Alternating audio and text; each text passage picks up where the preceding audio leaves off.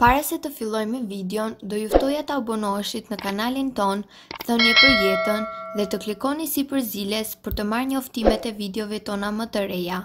Faleminderit! Nuk ju shkonte mendja, hilet që bëjnë dyqanet për të fituar sa më shumë para.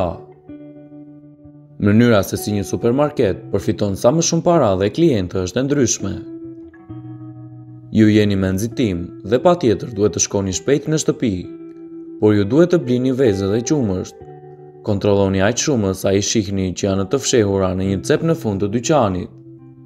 Të gjithë mendojnë me vete sa kaotike është të gjesh gjëra që dëshiron në një supermarket. Mirëpo, ju sigurojmë se asgjë nuk është kaotike. është thjesht një strategji e mirëmenduar për të rritur shitjet. Zbuloni disa nga hilet interesante që përdorin supermarketet për të rritur shitjet e tyre. I ngatërrojnë qëllimisht klientët e tyre. A keni menduar ndonjëherë pse artikujt që blihen zakonisht së bashku, nuk vendosen pranë njëri-tjetrit? Kjo për shkak se supermarketet duan që ju të shëtisni nëpër dyqane me shpresën se do të bëni ndonjë blerje impulsive. Artikujt me fitime të larta vendosen në nivelin e syve. Dyqanet vendosin produkte të shtrenjta në lartësi, ku syri i shikon më lehtë dhe anasjelltas. Ata i vendosin produktet e lira në vendin më pak të dukshme. Karrocat e blerjeve janë të mëdha për një arsye.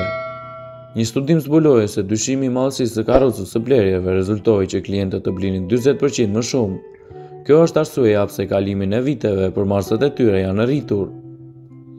Muzika ndikon në blerje. Një studim i fundit zbuloi se muzika e këndshme në sfond, rrit shansin që një blerës të kalojë më shumë kohë dhe të shpenzojë më shumë para në dyqan. Supermarketet gjithashtu preferojnë muzikë të lehtë në mënyrë që t'i qetësojnë klientët. Studimet zbuluan se muzika me një ritëm të ngadaltë i bëri klientët të blejnë 29% më shumë. Vendosja e produkteve të qumështit dhe vezëve larg hyrjes. Qumështi dhe vezët gjenden gjithmonë larg hyrjes së dyqanit. Kjo strategji është e menduar mirë, pasi ju duke kërkuar qumësht e vezë që mund t'i blini përditë, shikoni dhe gjëra të tjera të cilat mund t'ju ngacmojnë për t'i blerë. Pasi ta dëgjoni këtë video do ju ftoja t'i bënit like dhe ta shpërndanit atë në profilin tuaj në mënyrë që t'informohen dhe miqtë e tu.